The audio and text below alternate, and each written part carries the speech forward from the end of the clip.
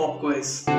Try to answer this question before we proceed and evaluate if you already know the word. And don't worry if you are unsure of the answer. Watch this video till the end to know everything about this word and to know the answer of this question. It's a holiday and Jeff is relaxing at home. Suddenly his wife comes and starts finding faults in his behavior. Jeff, you didn't pay the electricity bill. Jeff, you don't care for our kids. Jeff, you don't help with household chores. In this way, even constantly being yelled at by his wife, he doesn't get angry and remains quiet and calm. In other words, Jeff is phlegmatic. Phlegmatic is an adjective which means having an unemotional and calm nature. Its synonyms are cool, composed, tranquil.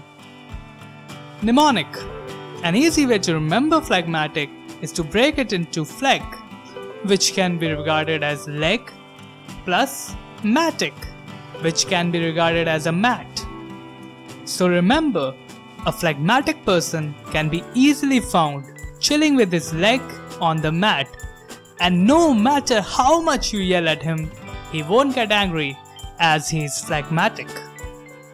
For example, there was a political candidate who was phlegmatic and therefore he never got angry even after being heavily trolled on the internet. Another example could be the members of the losing team were upset about the defeat, but their phlegmatic coach urged them to work on their weaknesses and look towards the future matches.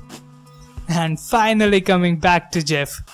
We saw earlier that he has a phlegmatic personality and really allows things to bother him. Therefore, he manages stress really well. Be like Jeff. You know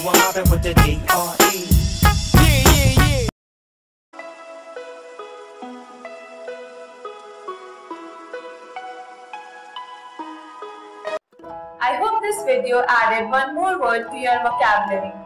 If so, then stay tuned to our virtual class and do support us by doing class that is comment, like and share, subscribe.